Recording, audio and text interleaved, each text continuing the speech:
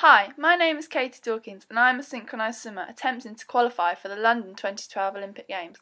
I am very grateful to Dick Lovett for their support and I am thrilled to be a Dick Lovett London 2012 hopeful. It's tough trying to qualify for a place at the Olympic Games and it's a huge help knowing that Dick Lovett is behind me helping to raise funds and awareness of my sport. It's also fantastic having a brand new BMW from now until the end of 2012 Games. There's a lot of travelling to training, competitions, and promotional events, so it's great being able to arrive there in style. Please keep checking this blog for updates from me on my progress to London 2012.